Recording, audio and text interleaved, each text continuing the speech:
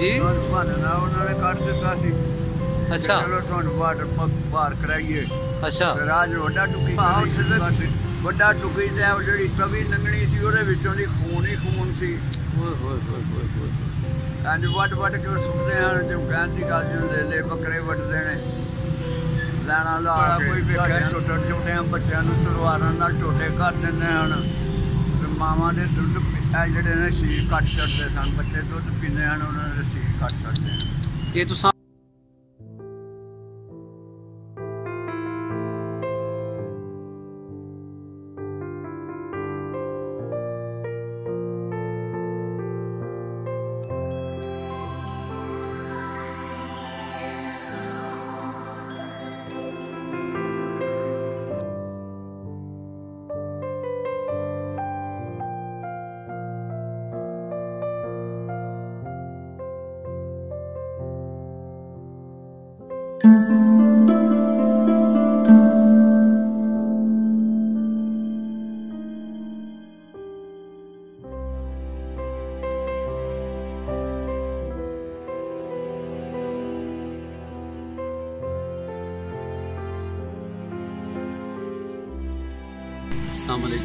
ਸਤਿ ਸ੍ਰੀ ਅਕਾਲ, ਪ੍ਰਣਾਮ। ਤਮਾਮ ਲੈਂਦੇ ਪੰਜਾਬ, ਚੜ੍ਹਦੇ ਪੰਜਾਬ, ਜਿੱਥੇ ਜਿੱਥੇ ਪੰਜਾਬੀ ਵਸਦਾ ਹੈ ਉਹਨਾਂ ਨੂੰ ਪੰਜਾਬੀ ਟੱਚ ਟੀਮ ਦਾ ਅਸਲਾਮ ਅਲੈਕਮ, ਸਤਿ ਸ੍ਰੀ ਅਕਾਲ। ਅੱਜ ਪੰਜਾਬੀ ਟੱਚ ਦੀ ਟੀਮ ਇੱਕ ਬਹੁਤ ਹੀ ਵੱਡੇ ਐਪੀਸੋਡ ਦੇ ਨਾਲ ਹਾਜ਼ਰ ਹੋਈ ਹੈ ਤਲਵਾੜਾ ਮੁਗਲਾ। ਇੱਕ ਪਿੰਡ ਜਿਹੜਾ ਕਿ ਬਨ ਫਾਟਕ ਤੇ ਬਿਲਕੁਲ ਸਿਟੀ ਸਿਆਲਕੋਟ ਦੇ ਨਾਲ ਅਟੈਚ ਹੈ ਇਸ ਟਾਈਮ ਇੱਥੇ ਬਹੁਤ ਸਾਰੇ ਘਰ ਜਿਹੜੇ ਨੇ ਜੰਮੂ ਤੋਂ 1947 ਵੇਲੇ ਹਿਜਰਤ ਕਰਕੇ ਆਏ ਨੇ ਤੇ ਜਿਹੜੇ ਇੱਥੇ ਰਹਿ ਰਹੇ ਨੇ। ਤੇ ਸੋ ਅੱਜ ਅਸੀਂ ਇੱਕ ਬਹੁਤ ਹੀ ਵੱਡੇ ਐਪੀਸੋਡ ਦੇ ਨਾਲ ਇੱਥੇ ਹਾਜ਼ਰ ਹੋਏ ਹਾਂ। ਇੱਕ ਬਜ਼ੁਰਗ ਬਗਲਾ ਬਕੂਨਾ ਪਿੰਡ ਜੰਮੂ ਤੋਂ 1947 ਵੇਲੇ ਮਾਈਗ੍ਰੇਟ ਕਰਕੇ ਆਏ। ਜਿਹੜਾ ਕਿ ਦੱਸਦੇ ਸਨ, ਅਸੀਂ ਆਪਣੇ ਪਰਿਵਾਰ ਦੇ ਨਾਲ ਨਿਕਲੇ ਸਾਂ, ਤਿੰਨ ਭਾਈ, ਨਾਲ ਵਾਲਦਾ ਤੇ ਨਾਲ ਵਾਲਦ ਸਨ।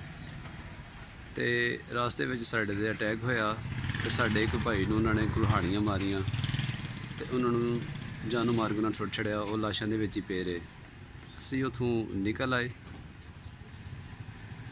ਤੇ ਕੁਝ ਦੇਰ ਬਾਅਦ ਸਾਨੂੰ ਪਤਾ ਚੱਲਿਆ ਕਿ ਸਾਡੇ ਉਹ ਭਾਈ ਜ਼ਿੰਦਾ ਨੇ। ਕੁਝ ਲੋਕ ਉਧਰੋਂ ਆਉਂਦੇ ਜਾਂਦੇ ਨੇ, ਉਹਨਾਂ ਨੇ ਦੱਸਿਆ ਕਿ ਵੀ ਉਹ ਹਲੇ ਜ਼ਿੰਦਾ ਨੇ। ਚਲੋ ਫਿਰ ਉਹਨਾਂ ਨੇ ਸ਼ਾਦੀ ਵੀ ਕੀਤੀ, ਉਹਨਾਂ ਦੇ ਬੱਚੇ ਵੀ ਤੇ ਇੱਕ ਦਫਾ ਸਾਡੇ ਕੋਲ ਆਏ ਨੇ ਇੱਥੇ ਕਾਫੀ ਦੇਰ ਪਹਿਲਾਂ, ਪਾਕਿਸਤਾਨ ਪਨ ਇੱਥੇ ਤਲਵਾੜਾ ਮੁਗਲਾ ਸਾਡੇ ਕੋਲ। ਤੇ ਦੁਬਾਰਾ ਉਹਨਾਂ ਦੇ ਨਾਲ ਰਾਬਤਾ ਨਹੀਂ ਹੋ ਪਾਇਆ। ਤੇ ਸੋ ਅਸੀਂ ਉਹਨਾਂ ਨਾਲ ਗੱਲਬਾਤ ਕਰਨੇ ਆ। ਉਹ ਆਪਣਾ ਹਵਾਲਾ ਹਰ ਚੀਜ਼ ਦਾ ਦੱਸਣਗੇ ਨਿਸ਼ਾਨੀਆਂ। ਤੇ ਇਨਸ਼ਾਅੱਲਾ ਤਾਲਾ ਅਸੀਂ ਤੁਹਾਨੂੰ ਉਹਨਾਂ ਨਾਲ ਮਿਲਾਨੇ ਆ। ਬਾਬਾ ਜੀ ਨਜ਼ੀਰ ਹੁਸੈਨ ਤੇ ਉਹਨਾਂ ਦੇ ਭਾਈ ਸਨ ਕਰਮਦੀਨ ਜਿਨ੍ਹਾਂ ਤੇ ਅਟੈਕ ਹੋਇਆ ਜਿਨ੍ਹਾਂ ਨੂੰ ਮਾਰਿਆ ਉਹਨਾਂ ਨੇ। ਤੇ ਹਲੇ ਵੀ ਜ਼ਿੰਦਾ ਨੇ ਹਾਲੇ ਤੱਕ ਉਹਨਾਂ ਨੂੰ ਰਾਬਤਾ ਨਹੀਂ ਹੋਇਆ। ਬਗਲਾ ਬਕੂਨਾ ਪਿੰਡ ਉਹਨਾਂ ਦਾ। ਆਓ ਜੀ ਬਾਬਾ ਜੀ ਨਾਲ ਗੱਲ ਅਸਲਾਮ ਅਲੈਕਮ ਬਾਬਾ ਜੀ। ਵਾਲੇਕੁਮ ਕੀ ਹਾਲ ਹੈ? ਠੀਕ ਠਾਕ ਹੋ? ਜਰਾ ਗੜ ਕੇ ਨਾ ਬੋਲਣਾ ਹੈ, ਪਤਾ ਲੱਗੇ ਜ਼ਰਾ ਅੱਜ ਵੀ ਬਾਬੇ ਜੀ ਹੋਰੀ ਜਵਾਨ ਨੇ ਹੈ? ਯਕੀਨ ਆਇਆ ਆਪਣਾ? ਨਜ਼ੀਰ ਸੈਨ। ਨਜ਼ੀਰ ਹੁਸੈਨ ਦਵਾਲਾ ਸਾਹਿਬ ਦਾ? ਕਰਦੀਨ ਸ਼ੁਕਰਦੀਨ। ਸ਼ੁਕਰਦੀਨ। ਹਾਂ। ਤੇ ਦਾਦਾ ਜੀ ਦਾ ਨਾਮ ਯਾਦ ਹੈ? ਦਾਦੇ ਦਾ ਨਾਮ ਅੱਛਾ ਚਲੋ ਕੋਈ ਗੱਲ ਨਹੀਂ ਯਾਰ ਸਹੀ ਹੋ ਗਿਆ। ਤੇ ਆਪਣੀ ਕਿੰਨੀ ਉਮਰ ਹੋ ਗਈ ਇਸ ਟਾਈਮ ਮਾਸ਼ਾਅੱਲਾ? ਰਹਿ ਹੋਈ ਗਈ ਹੋਣੀ ਕੋਈ ਸਾਲ। 80 ਕੁ ਸਾਲ। 73 ਸਾਲ ਹੋ ਗਏ ਨੇ ਪਾਕਿਸਤਾਨ ਨੂੰ ਬਟਵਾਰੇ ਨੂੰ। ਯਾਨੀ ਕਿ ਉਦੋਂ ਤੁਸੀਂ 7-8 ਸਾਲਾਂ ਦੇ ਹੋ ਜਦੋਂ ਹਾਂ। ਪਾਰਟੀਸ਼ਨ ਹੋਈ ਹੈ ਕਿਹੜਾ ਪਿੰਡ ਸੀ ਆਪਣਾ ਉੱਥੇ ਇੰਡੀਆ 'ਚ? ਬਗਲਾ ਬਗੂਨਾ। ਜੀ? ਬਗਲਾ ਬਗੂਨਾ। ਬਗਲਾ? ਬਗਲਾ ਬਗੂਨਾ ਦੋ ਨਾਂ ਸਨ। ਬਗਲਾ ਬਕੂਨਾ। ਹਾਂ। ਵਾਹ ਜੀ ਵਾਹ। ਕਿੱਡਾ ਕੋਟਾ ਬਾਬਾ ਜੀ ਪਿੰਡ ਸੀ ਇਹ? ਬਹੁਤ ਵੱਡਾ ਪਿੰਡ ਸੀ ਜਦੋਂ ਕੱਟੇ ਕੋਠੇ ਸਨ। ਤੇ ਕਿਹੜੀਆਂ ਕਿਹੜੀਆਂ ਕੌਮਾਂ ਉੱਥੇ ਆਬਾਦ ਸਨ? ਸਾਰੇ ਹਿੰਦੂ ਭਰਾਪੀ ਤੇ ਮੁਸਲਮਾਨ ਵਿੱਚ ਆ ਤੇ ਸਾਰੇ ਇਕੱਠੇ ਸਨ। ਮੁਸਲਮਾਨ ਤੇ ਹਿੰਦੂਆਂ ਦੇ ਘਰ ਵੀ ਆ ਸਨ? ਸਾਰਿਆਂ ਦੇ ਘਰ ਇਕੱਠੇ ਹੀ ਸਨ। ਸਿੱਖਾਂ ਦੇ ਘਰ ਵੀ ਆ ਸਨ? ਸਭ ਵਿੱਚ ਹੀ ਸੀ ਅੱਛਾ ਮਿਕਸ ਹੀ ਸਨ ਸਾਰੇ? ਸਾਰਾ ਕੁਝ ਵਿੱਚ ਹੀ। ਸੀ। ਸਹੀ ਤੇ ਕਿੰਨੀ ਕੁ ਜ਼ਮੀਨ ਸੀ ਤੁਹਾਡੇ ਪਿੰਡ ਦੀ ਟੋਟਲ ਆਇਆ ਨਹੀਂ ਸਾਨੂੰ ਪਤਾ ਕਿੰਨੀ। ਅੱਛਾ ਅੱਛਾ। ਹਾਂ। ਤੇ ਇਹਦੇ ਆਲ ਦੁਆਲੇ ਜਿਹੜੇ ਪਿੰਡ ਨੇ ਕਿਹੜੇ ਕਿਹੜੇ ਸਨ? ਤਹਿਸੀਲ ਤੇ ਭਾਜ ਜੰਮੂ ਹੀ ਲੱਗਦੀ ਸੀ ਸਾਨੂੰ। ਜੀ। ਜ਼ਿਲ੍ਹਾ ਵੀ ਜੰਮੂ ਹੀ ਸੀ। ਠੀਕ। ਮੈਂ ਕਹਿ ਰਿਹਾ ਉਹਦੇ ਲੈਂਦੇ ਚੜਦੇ ਦੱਖਣ ਪਹਾੜ ਕਿਹੜੇ ਕਿਹੜੇ ਪਿੰਡ ਸਨ? ਕੋਈ ਪਤਾ ਨਹੀਂ ਸਾਨੂੰ। ਹੂੰ? ਕੋਈ ਪਤਾ ਨਹੀਂ ਵਾ ਅੱਛਾ ਥੋੜੀ ਉਮਰ ਸੀ ਪਿੰਡ ਨਹੀਂ ਯਾਦ। ਸਹੀ ਸਹੀ। ਚਲੋ ਜਿਹੜੇ ਸਾਡੇ ਸੁਣਨਗੇ ਦੋਸਤੋ ਦੱਸਣਗੇ ਇਹਨਾਂ ਦਾ ਪਿੰਡ ਕਿੱਥੇ ਸੀ। ਤੇ ਸਕੂਲ ਹੈ ਸੀ ਪਿੰਡ ਵਿੱਚ ਤੁਹਾਡੇ? ਤੇ ਕਿੱਥੇ ਜਾਂਦੇ ਹਨ ਪੜਨ ਵਾਸਤੇ? ਪੜਾਈਆਂ ਹੀ ਘੱਟ ਸਨ ਵੀਰ ਉਦੋਂ। ਉਦੋਂ ਪੜਾਈਆਂ ਨਹੀਂ ਹਨ ਜਿਹੜੇ ਹੈ ਸਨ ਪੜਨ ਵਾਸਤੇ ਕਿੱਥੇ ਜਾਂਦੇ ਹਨ? ਸਭ ਇੱਕ ਜਾਣਦਾ ਸੀ ਹੂੰ? ਸਾਨੂੰ ਨਹੀਂ ਜਾਣਦਾ ਇਹ। ਸਹੀ ਸਹੀ। ਤੇ ਪਿੰਡ ਦਾ ਲੰਬੜਦਾਰ ਕੌਣ ਸੀ ਉਦੋਂ? ਜਾਲਦਾਰ ਉਹਨੂੰ ਕਹਿੰਦੇ ਹਨ ਨੰਬਰਦਾਰ ਤੇ ਕੋਈ ਕਹਿੰਦਾ ਨਹੀਂ ਅੱਛਾ ਕੀ ਨਾਂ ਸੀ ਉਹਦਾ? ਨਾ ਨਹੀਂ ਅੱਛਾ ਨਾਂ ਦਾ ਨਹੀਂ ਪਤਾ। ਜਾਲਦਾਰ ਕਹਿੰਦੇ ਹਨ। ਤੇ ਤੁਹਾਡੀ ਜ਼ਮੀਨ ਹੈ ਸੀ? ਅਦਾਰੇ ਅਦਾਰੇ ਕਿੰਨੀ ਸੀ ਮਾਸ਼ਾਅੱਲਾ? ਹੈ ਸੀ ਕੋਈ 18 ਕਿੱਲੇ। ਮਾਸ਼ਾਅੱਲਾ 18 ਕਿੱਲੇ ਜ਼ਮੀਨ ਤੁਹਾਡੀ। ਵਾਹ ਜੀ ਵਾਹ। ਤੇ ਉਹ ਜਿਹੜਾ ਜ਼ੈਲਦਾਰ ਸੀ ਕਿਹਦਾ ਸਲੂਕ ਸੀ ਪਿੰਡ ਦੇ ਲੋਕਾਂ ਨਾਲ ਉਹਨਾਂ ਦਾ? ਚੰਗਾ ਹੀ ਭਾਜੀ ਸਰੂਪ ਉਹਨਾਂ ਦਾ ਹੀ ਕਿ ਮਾੜਿਆਂ ਕੋਲੋਂ ਉੱਥੇ ਵੀ ਕੰਮ ਜਾਂਦੇ ਸਨ। ਅੱਛਾ। ਸਹੀ ਸਹੀ। ਤੇ ਉਹ ਜਿਹੜੀ ਤੁਹਾਡੀ ਜ਼ਮੀਨ ਸੀ 18 ਕਿੱਲੇ ਕੀ ਬੀਜਦੇ ਸੀ ਉੱਥੇ? ਹੀ ਜੌਂ ਮੁੱਟੀ ਜਿਹੜੇ ਮੁੱਟੀ ਝੋਟੀ ਦੀ ਸੀ ਪਕਾਈ ਕਣਕ ਅੱਛਾ। ਇੰਨਾ ਪਾਣੀ ਛਾੜੀ ਕੋ ਹੈ ਨਹੀਂ ਬਰਾਂਡੀ। ਅੱਛਾ। ਬਦਲਾਂ ਦੇ ਪਾਣੀ ਤੇ ਮੁਨਸਰੀ ਫਸਲ ਠੀਕ ਹੁੰਦਾ ਸੀ? ਘੱਟ ਵਾਦੀ ਅੱਛਾ। ਹੋ ਗਿਆ ਤੇ ਹੋ ਗਿਆ ਬਾਰਿਸ਼ ਆ ਗਈ ਤੇ ਹੋ ਗਿਆ ਨਹੀਂ ਤੇ ਨਾ ਸਹੀ। ਉੱਥੇ ਕਿਤੇ ਮੇਲਾ ਵੀ ਕੋ ਲੱਗਦਾ ਸੀ? ਹੈ? ਅੱਛਾ। ਤੇ ਇਹ ਜਦੋਂ 47 ਦਾ ਰੌਲਾ ਪਿਆ ਏ ਤੇ ਤੁਸੀਂ ਘਰ ਸੌ ਦੁਗੀਆਂ ਬਾਹਰ ਪੈਲੀਆਂ 'ਚ ਹੋ ਉਦੋਂ ਭਾਜੀ ਬਾਹਰ ਸੰਗ ਪਿਆਜੀ ਦੇ ਘਰ ਕਿੱਥੇ ਰਹਿਣਾ ਜੀ? ਉਹਨਾਂ ਭਾਨਣਾ ਉਹਨਾਂ ਨੇ ਕੱਢ ਦਿੱਤਾ ਸੀ। ਅੱਛਾ। ਚਲੋ ਤੁਹਾਨੂੰ ਵਾਟਰ ਪਾਰ ਕਰਾਈਏ। ਅੱਛਾ। ਰਾਜ ਰੋਡਾ ਟੁਕੀ ਕਰਨੀ ਸ਼ੁਰੂ ਕਰ ਦਿੱਤੀ ਨਾ ਤੁਸੀਂ ਕਿੰਨੇ ਕੁ ਭਰਾ ਸੋ ਘਰ ਦੇ ਜਦੋਂ ਨਿਕਲੇ ਹੋ ਘਰੋਂ? ਅਸੀਂ ਤਿੰਨ ਭਰਾ ਸਾਂ। ਅੱਛਾ ਕੀ ਨਾਂ ਸਨ ਉਹਨਾਂ ਦੇ? ਇੱਕ ਦਾ ਨਾਮ ਮਹਮਦੀਨ ਸੀ। ਅੱਛਾ। ਇੱਕ ਦਾ ਨਾਮ ਕਰਮਦੀਨ ਸੀ। ਮੁਹੰਮਦੀਨ ਕਰਮਦੀਨ। ਠੀਕ ਹੈ। ਤੁਸੀਂ ਤਿੰਨ ਭਾਈ ਤੇ ਤੁਹਾਡੀਆਂ ਮਸ਼ੀਰਾਂ ਵੀ ਆ ਸਨ ਨਾਲ? ਹਾਂ ਕਿੰਨੀਆਂ ਮਸ਼ੀਰਾਂ ਸਨ? ਦੋ। ਤੇ ਵਾਲਦ ਸਾਹਿਬ ਤੇ ਵਾਲਦਾ? ਅੱਛਾ ਉਹ ਵੀ ਨਾਲ ਹੀ ਨਿਕਲੇ ਨੇ।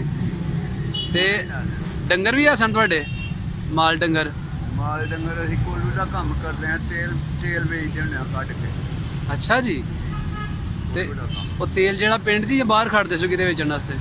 ਪਹਿਲਾਂ ਦੇ ਘਰ ਹੀ ਵੇਚਦੇ ਰਹੇ ਉੱਥੇ। ਤੇ ਜਦੋਂ ਬਾਅਦ ਚ ਫਿਰ ਟੁਰ ਜਾਂਦੇ ਹਨ ਲੈ ਕੇ ਬਾਹਰ ਅੱਛਾ।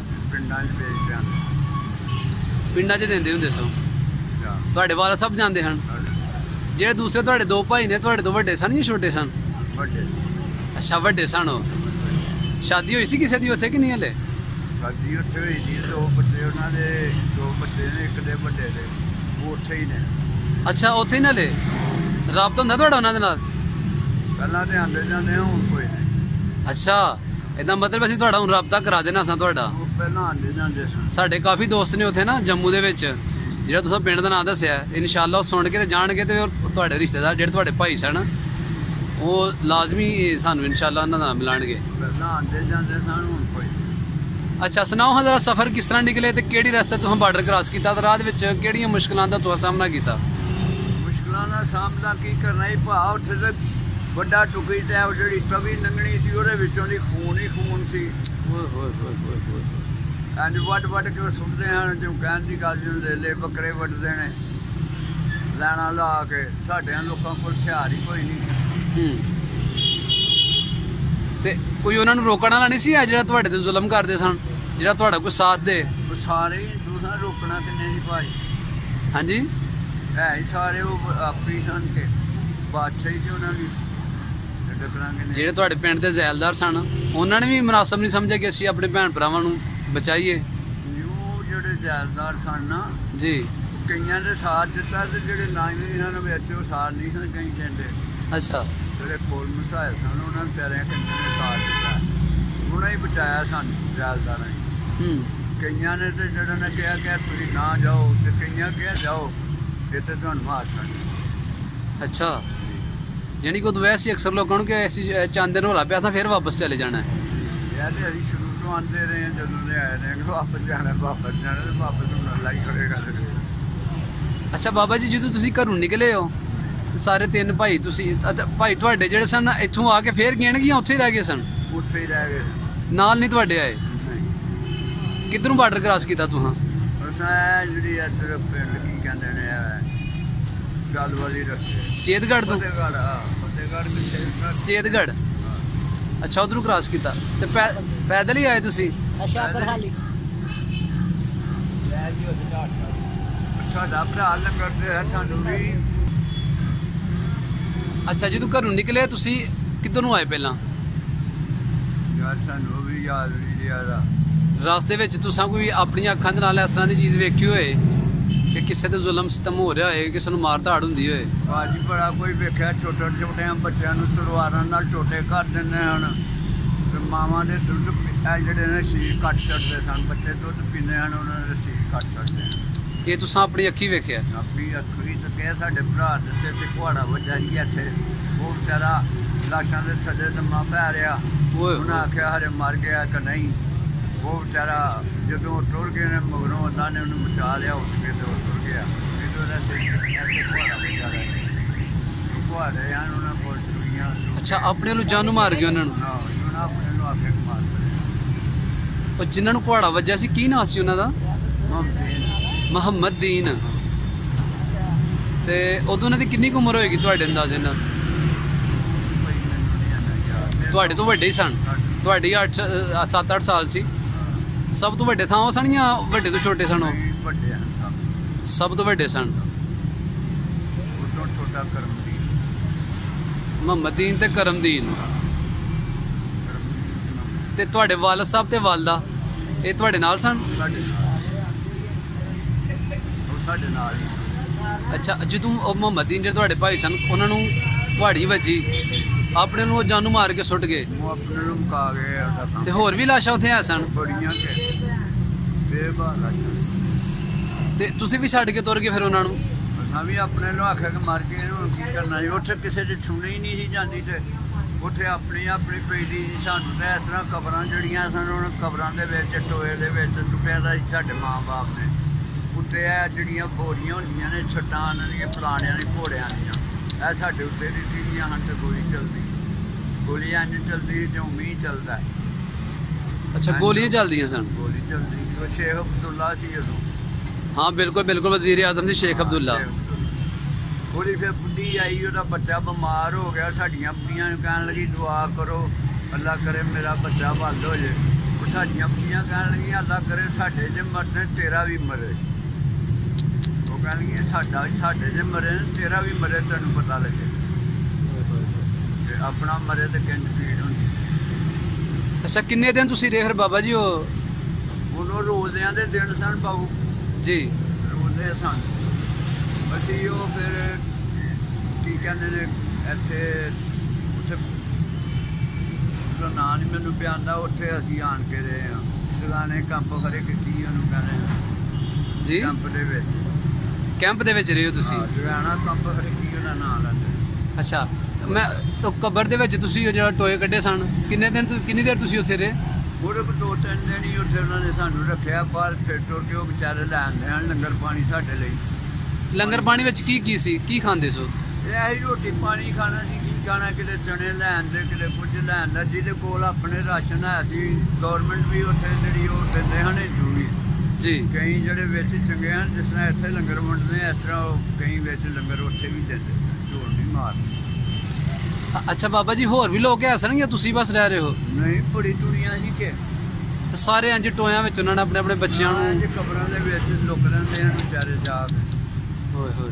ਗੋਲੀ ਗਾਲੀ ਜਦੋਂ ਚੱਲਦੀ ਸੀ ਤੇ। ਤੁਹਾਡੇ ਤੇ ਹਮਲਾ ਹੋਇਆ ਕੋਈ ਉੱਥੇ? ਕੀਤਾ ਕਿਸੇ ਨੇ ਆ ਕੇ? ਸਾਡੇ ਤੇ ਹਮਲਾ ਹੀ ਹੋਇਆ ਤੇ ਇਹ ਕਬਰਾਂ ਜਦੋਂ ਤੁਸੀਂ ਗਏ ਉੱਥੇ ਕਬਰਸਤਾਨ 'ਚ ਉੱਥੇ ਤਾਂ ਨਹੀਂ ਕੋਈ ਆਇਆ ਤੁਹਾਡੇ ਪਿੱਛੇ? ਨਹੀਂ ਉੱਥੇ ਨਹੀਂ ਕੋਈ ਵੀ ਭਾਈ ਆਇਆ। ਹੈ? ਉੱਥੇ ਨਹੀਂ ਆਇਆ ਝੂਠ ਨਹੀਂ ਮਾਰਨਾ ਉੱਥੇ ਨਹੀਂ ਆਇਆ। ਬਾਕੀ ਬਾਹਰ ਜਿਹੜਾ ਨੇ ਸਾਡੇ ਤੇ ਉਹਨਾਂ ਨੇ ਬੜੀ ਬੜੀ ਗੋਲੀ ਅੱਛਾ ਗੋਲੀਆਂ ਤੇ ਹੋਰ ਕਾਹਦੇ ਨਾਲ ਵਾਰ ਕਰਦੇ ਸਨ? ਉਹ? ਉਹਨੇ ਅੱਜ ਉਹ ਭੈਣ ਜੋ ਪ੍ਰੂਫ ਜਿਹੜੀ ਹੁੰਦੀ ਸੀ ਉਹਨੂੰ ਪਤਾ ਨਹੀਂ ਗੱਲ ਤੇ ਹੁੰਦਾ ਸੀ ਸਾਰੇ ਕਿੱਟੀ ਉਹਨੇ ਪਾ ਕੇ ਛੜਲ ਉਹ ਬਹੁਤਾ ਤਲਵਾਰਾਂ ਟੋਕਿਆਂ ਨਾਲ ਟੁਕਦੇ ਹਨ ਤੇ ਜ਼ਰਾ ਰਹਿਮ ਨਹੀਂ ਆਇਆ ਉਹਨਾਂ ਨੂੰ ਹੈ? ਬੜਾ ਮਾਇਆ ਦਾ ਰਾਮ ਉਹ ਤਾਂ ਰਹਿਮ ਫੇਰ ਆਇਆ ਸੀ ਜਦੋਂ ਇਧਰੋਂ ਇਹਨਾਂ ਨੇ ਡੱਲ ਵਾਲੀ ਵੱਲੋਂ ਜਦੋਂ ਪੂਰੀ ਗੱਡੀ ਕੱਢੀ ਆ ਨਾ ਉਹਨਾਂ ਦੀ ਫੇਰ ਉਹ ਕਰ ਲਾਇਆ ਨੇ ਕਿ ਤੁਲਾ ਕਰੋ ਸਾਡੀ ਅੱਛਾ। ਹਾਂ ਜਦੋਂ ਇਹਨਾਂ ਵੀ ਇੱਧਰੋਂ ਬਾਬਾ ਚਾੜਿਆ ਹੈ ਨਾ ਪਹਿਲਾਂ ਤਾਂ ਉਹਨਾਂ ਸਾਡੇ ਤੇ ਤੇ ਉਹਨਾਂ ਮਾਸਾ ਰਹਿਮ ਨਹੀਂ ਖਾਦਾ ਫੇਰ ਤੇ ਰੋਏ ਨੇ ਆਪਣੀਆਂ। ਆਪਣਾ ਵੇਖ ਕੇ ਜਦੋਂ ਉਹਨਾਂ ਦਾ ਨੁਕਸਾਨ ਹੋਇਆ। ਮੁਸਲਮਾਨਾਂ ਵੀ ਕੀਤਾ ਨਾ ਉਹਨਾਂ ਨਾਲ ਵੱਢ ਟੋਕ। ਜੀ ਜੀ। ਬਾਕੀ ਇਹਨਾਂ ਇੰਨਾ ਜ਼ੁਲਮ ਨਹੀਂ ਕੀਤਾ ਜਿੰਨਾ ਉਹਨਾਂ ਕੀਤਾ ਹੂੰ। ਹੂੰ ਜਵਾਨ ਜਵਾਨ ਬੱਚੀਆਂ ਸਾਡੀਆਂ ਭੈਣਾਂ ਬੱਚੀਆਂ ਜਿਹੜੀਆਂ ਮੇਰੇ ਕੋਲ ਸਿੱਧ ਕਰਨਾ। ਸਾਡੇ ਕੋਲ ਹਥਿਆਰ ਹੀ ਕੋਈ ਨਹੀਂ। ਬੇਸ਼ਰਮੀ ਦੀ ਇੰਤਹਾ ਕਰ ਛੜੀ ਉਹਨਾਂ ਲੋਕਾਂ ਨੇ ਹੈ? ਜਾਨ ਦੇ ਦੁਸ਼ਮਣ ਤੇ ਹੈ ਸਨ ਤੇ ਉਹ ਇੱਜ਼ਤ ਵੀ ਨਹੀਂ ਉਹਨਾਂ ਨੇ ਕਿਸੇ ਨੂੰ। ਉਹ ਵੀਰ ਮੇਰੇ ਆਂਦਾ ਹੀ ਬਿੱਤਰ ਜਾਣਦਾ ਜੋ ਕੁਝ ਮਾਦਰ ਤੇ ਕਹਿ ਛੱਡਣ ਨਾ ਲੋਕੀ। ਕਹਿੰਦਾ ਤੇ ਸਾਨੂੰ ਇੱਥੇ ਵੀ ਕਹਿੰਦੇ ਨੇ ਕਿ ਆ ਕੌਣ ਨੇ? ਬਨਾਗੀਰ ਇਹ ਵੀ ਕੇ ਕਹਿੰਦੇ ਨੇ। ਇਹ ਕੀ ਜੀ ਕੌਣ ਮਰਿਆ? ਬਨਾਗੀਰ ਨਾ ਵੀ ਮਰ ਗਿਆ ਜੀ। ਹੈਂ? ਤੇ ਜਦੋਂ ਆਪਣੀ ਵਾਰੀ ਆਈ ਨਾ ਜਦੋਂ ਜੰਗ ਲੱਗਾ ਤੇ ਨੱਠੇ ਨੇ ਤੇ ਬਾਅਦ ਚ ਆਖਣ ਨਹੀਂ ਇਹ ਪਨਾਹਗੀਰ ਨਹੀਂ ਇਹ ਪੀਰ ਨੇ ਜਦੋਂ ਆਪਣੀ ਨੱਸੇ ਨੇ। ਅੱਛਾ ਬਾਬਾ ਜੀ ਜਦੋਂ ਤੁਸੀਂ ਫਿਰ ਉਸ ਕਬਰਸਤਾਨ ਚੋਂ ਨਿਕਲੇ ਉਥੋਂ ਰਾਹ ਦੇ ਵਿੱਚ ਫਿਰ ਤੁਸੀਂ ਇਕੱਠੇ ਸਾਰਾ ਕਾਫਲਾ ਇਕੱਠਾ ਹੋ ਕੇ ਆਇਆ ਇਹ ਵੱਖ ਵੱਖ ਆਏ ਸਾਰੇ? ਤੇ ਮਾਂ-ਬਾਪ ਜਿਹੜੇ ਨੇ ਉਹ ਜਿੱਥੇ ਜਿੱਥੇ ਗਏ ਦਾ ਮਕਾਨ ਉਹਨੇ ਕਿਹਾ ਕਿ ਇੱਥੇ ਜਿਸ ਤਰ੍ਹਾਂ ਮਕਾਨ ਉੱਥੇ ਬਣੇ ਦੇ ਸਨ ਉਹਨਾਂ ਵਿੱਚ ਜਾ ਕੇ ਖੋਲ ਲੋ ਤਾਰੇ ਤੇ ਤੋੜ ਲੋ ਤੇ ਜਾ ਕੇ ਰਹੋ। ਜਦੋਂ ਸੁਲਾ ਹੋ ਗਈ ਅੱਛਾ। ਜਦੋਂ ਇੱਧਰੋਂ ਡੰਡਾ ਚੜਿਆ ਨਾ ਤੇ ਫਿਰ ਸੁਲਾ ਨੇ। ਫਿਰ ਤੁਸੀਂ ਸਭ ਤੋਂ ਪਹਿਲਾਂ ਕਿੱਥੇ ਆ ਕੇ ਪੜਾਓ ਕੀਤਾ ਪਾਕਿਸਤਾਨ? ਪਹਿਲਾਂ ਇੱਧਰ ਕਿ ਛੋਣੀ ਆ ਲਖਰੇ ਕੀ ਕਹਿੰਦੇ ਨੇ ਉੱਧਰ ਸੀ ਉਹ। ਪੜਤ ਬਹੁਤ ਅੱਲਾ ਜਾਣੇ ਉਹਦਾ ਨਾਂ ਹਰ ਕੀ ਜਾਂਦੇ ਮੈਨੂੰ ਯਾਦ ਨਹੀਂ ਆਦਾ ਅੱਛਾ। ਉੱਥੇ ਸਾਡਾ ਕੈਂਪ ਲੱਗਾ ਦਾ ਸੀ। ਜੀ। ਉੱਥੇ ਸਾਨੂੰ ਸਰਕਾਰੀ ਕੈਂਪ ਦੇ ਵਿੱਚ ਲੰਗਰ ਪਾਣੀ ਮਿਲਦਾ ਸੀ। ਲੰਗਰ ਪਾਣੀ ਤੁਹਾਨੂੰ ਸਹੀ ਸੇਵਾ ਤੁਹਾਡੀ ਫਿਰ ਹੋਈ ਇੱਥੇ? ਇੱਥੇ ਜਿਹੜੇ ਇੱਥੋਂ ਵਾਲੇ ਲੋਕੀ ਸਨ ਸਾਨੂੰ ਕੰਬਲ ਕੱਪੜੇ ਜੁੱਤੀ ਵਾਹ ਜੀ ਵਾਹ। ਰਾਸ਼ਨ ਪਾਣੀ ਸਭ ਕੁਝ ਦਿੰਦੇ ਆ। ਮੁਸਲਮਾਨ ਭਰਾ ਜਿਹੜੇ ਸਨ? ਹਾਂ ਉਧਰੋਂ ਤੋਂ ਹੀ ਨੰਗ ਨੰਗੇ ਕਿਸਮ ਦੇ ਹੀ ਆਏ ਹਨ।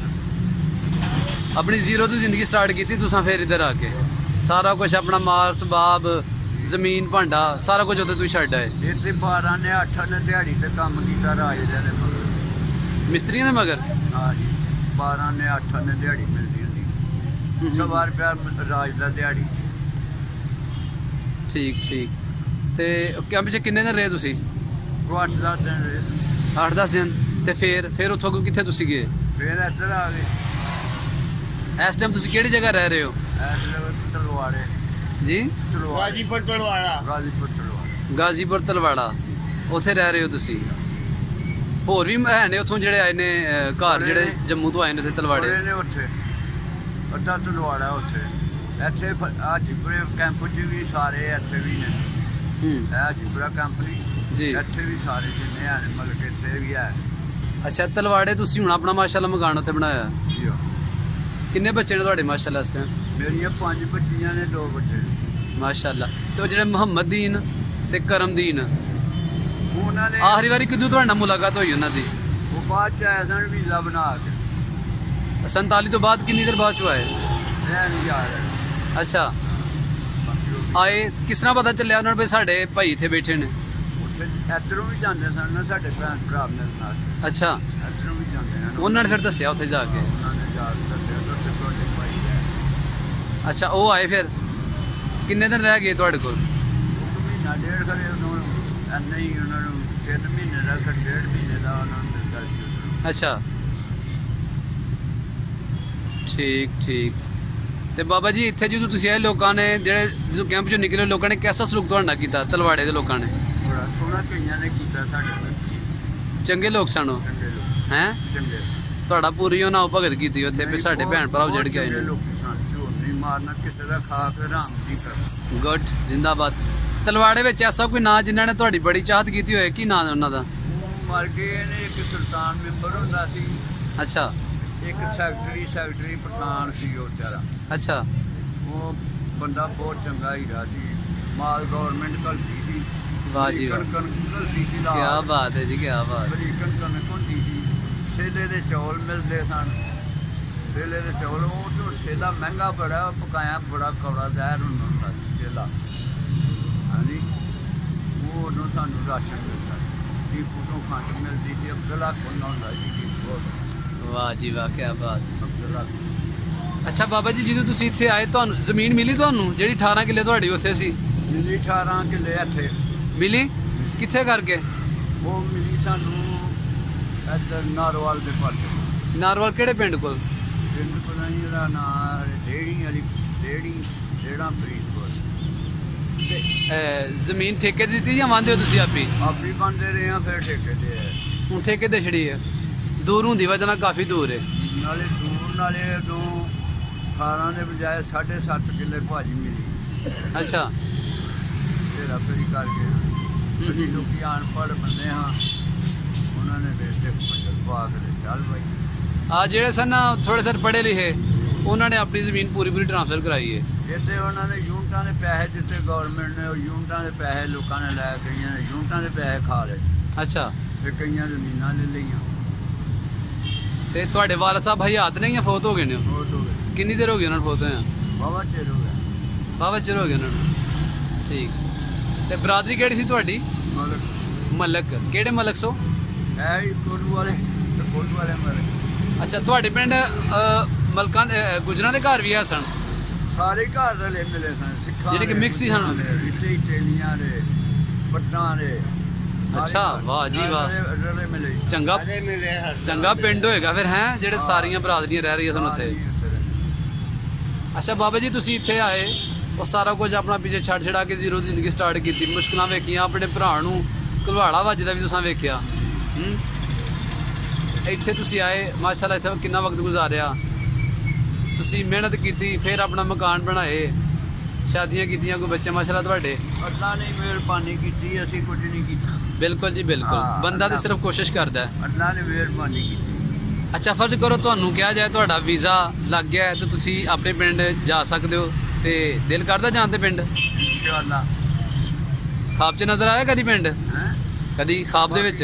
ਪਿੰਡ ਨਜ਼ਰ ਤੇ ਆਂਦਾ ਹੈ। ਆਪਣੇ ਜਿੱਥੇ ਚਲੇ ਆ ਉਹ ਚੀਜ਼ ਭੁੱਲ ਗਈ ਹੈ ਹੁਣ ਇੱਥੇ। ਅਸੀਂ ਆਣ ਕੇ ਬੈਠੇ ਆ ਤੇ ਅਸੀਂ ਕਿੱਥੋਂ ਚੱਲ ਕੇ ਆਣ ਕੇ ਇੱਥੇ ਬੈਠੇ ਆ ਵਾਹ ਇਹਨਾਂ। ਦਾ ਲਓ ਕਿ ਕਿੱਥੋਂ ਮੈਂ ਤਲਵਾੜਿਓਂ ਚੱਲ ਕੇ ਇੱਥੇ ਆਣ ਕੇ ਬੈਠਾ ਕਿਉਂਕਿ ਮੇਰੇ ਦਿਲ 'ਚ ਲਗਨ ਹੁੰਦੀ ਹੈ ਬਾਦਸ਼ਾਹ ਕੋਲ ਆਉਣਾ ਵਾ। ਮਾਸ਼ਾਅੱਲਾ ਮਾਸ਼ਾਅੱਲਾ ਜੀ। ਹਾਂ। ਬਿਲਕੁਲ ਜੀ ਮੁਹੱਬਤ ਦੀ ਗੱਲ ਹੈ ਜੀ।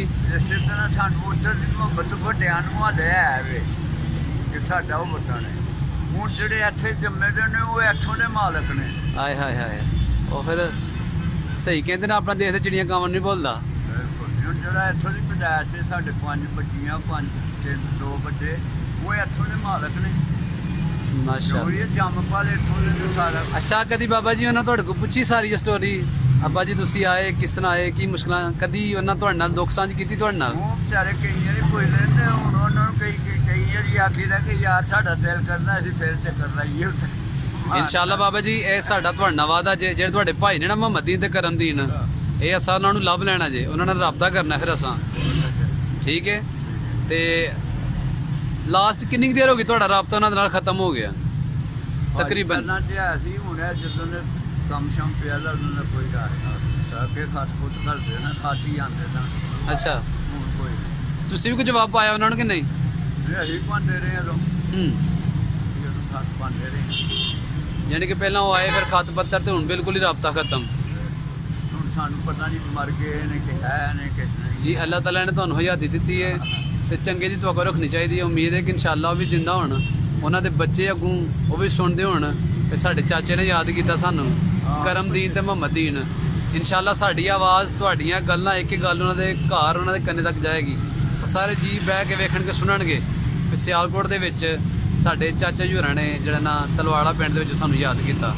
ਅਸੀਂ ਜਨਾਬ ਭਰਪੂਰ ਮਿਹਨਤ ਕਰਕੇ ਇਨਸ਼ਾਅੱਲਾ ਆਪਣੇ ਦੋਸਤਾਂ ਨਾਲ ਰਾਬਤਾ ਕਰਾਂਗੇ।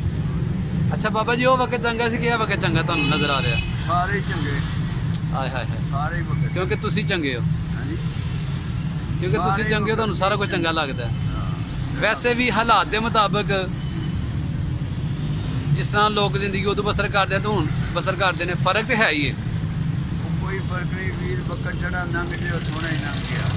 ਹਾਂਜੀ। ਅੱਗੋਂ ਸੋਹਣਾ ਲੰਘਾ ਦੇ ਰੱਬ ਇਨਸ਼ਾਅੱਲਾ ਜੀ ਇਨਸ਼ਾਅੱਲਾ। ਜਿਹੜਾ ਵਕਤ ਲੰਘ ਜੇ ਉਹ ਸੋਹਣਾ ਹੀ ਲੰਘਿਆ ਅੱਛਾ ਤੁਹਾਡੇ ਭਾਈ ਅੱਲਾਹ ਤਾਲਾ ਉਹਨਾਂ ਨੂੰ ਹਯਾਤੀ ਦੇ। ਉਮੀਦ ਹੈ ਕਿ ਇਨਸ਼ਾਅੱਲਾ ਜ਼ਿੰਦਾ ਹੋਣਗੇ। ਉਹਨਾਂ ਵਾਸਤੇ ਕੀ ਪੈਗਾਮ ਦੇਣਾ ਚਾਹੋਗੇ ਤੁਸੀਂ? ਮੈਂ ਦੁਆ ਸਲਾਮੀ ਜਿਹੜੀ ਵੀਰ ਅਸਾਂ ਹੋਰ ਕੀ ਕੰਮ ਦੇਣਾ। ਜ਼ਰਾ ਆਪਣੀਆਂ ਅੱਖਾਂ ਕੈਮਰੇ ਦੇ ਵਿੱਚ ਕਰਕੇ ਜ਼ਰਾ ਅੱਖਾਂ 'ਚ ਅੱਖ ਪਾ ਕੇ ਨਾਲ ਕਰੋ ਗੱਲ। ਵੀਰੋ ਮੈਂ ਉਦਾਸ ਹਾਂ ਤੁਹਾਡੇ ਬਾਜੂ। ਕੋਈ ਮੈਂ ਤੇ ਉਦਾਸ ਹਾਂ ਉਹ ਭਰਾ ਦੇ ਪੁੱਤਰ ਹੀ ਹੋਣੇ ਨੇ ਤੇ ਆਪੀ ਤੇ ਵਿਚਾਰਾ ਹਰੇ ਮਰ ਗਿਆ ਤਾਂ ਹੋਵੇ। ਹੂੰ ਹੂੰ। ਚਲੋ ਫਰਜ਼ ਕਰੋ ਅੱਲਾਹ ਤਾਲਾ ਨੇ ਉਹਨਾਂ ਨੂੰ ਹਯਾਤੀ ਦਿੱਤੀ ਹੋਈ ਜਿਸ ਤਰ੍ਹਾਂ ਤੁਹਾਨੂੰ ਜ਼ਿੰਦਗੀ ਨਹੀਂ ਉਹ ਸੁਣਿਆ ਸੀ ਪਿੱਛੇ ਜਿਹੀ ਬਾਹਰ ਨਿਕਲੀ ਕਿ ਸਬਜ਼ੀ ਦੁਕਾਨ ਰੱਖੀ ਸੀ ਉੱਥੇ ਖੜੀਕਾਂ ਦੇ ਬਾਜ਼ਾਰ। ਕਿਹੜੇ ਬਾਜ਼ਾਰ? ਖੜੀਕਾਂ ਦੇ ਬਾਜ਼ਾਰ। ਅੱਛਾ। ਜਾਮੀਆ ਮਸਜਿਦ ਦੇ ਥੱਲੇ। ਅੱਛਾ। ਸਬਜ਼ੀ ਦੁਕਾਨ ਹੁੰਦੀ ਹੈ ਸਬਜ਼ੀ ਫਰੋਜ ਕਿਹਨੇ ਦੱਸਿਆ ਤੁਹਾਨੂੰ?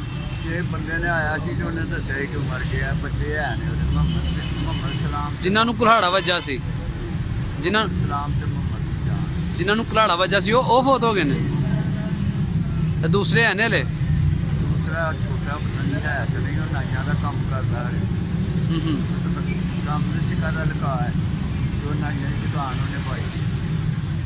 ਬਹੁਤ ਸ਼ੁਕਰੀਆ ਬਾਬਾ ਜੀ ਤੁਸੀਂ ਆਪਣਾ ਕੀਮਤੀ ਵਕਤ ਦਿੱਤਾ। ਅੱਲਾਹ ਤਾਲਾ ਤੁਹਾਨੂੰ ਤੰਦਰੁਸਤੀ ਦੇ ਹਯਾਤੀ ਦੇ। ਇਨਸ਼ਾਅੱਲਾ ਅਸੀਂ ਤੁਹਾਡੀ ਆਵਾਜ਼ ਉਹਨਾਂ ਦੇ ਤੁਹਾਡੇ ਭਤੀਜਿਆਂ ਤੱਕ ਤੁਹਾਡੇ ਪੁੱਤਰਾਂ ਤੱਕ ਜ਼ਰੂਰ ਪਹੁੰਚਾਵਾਂਗੇ।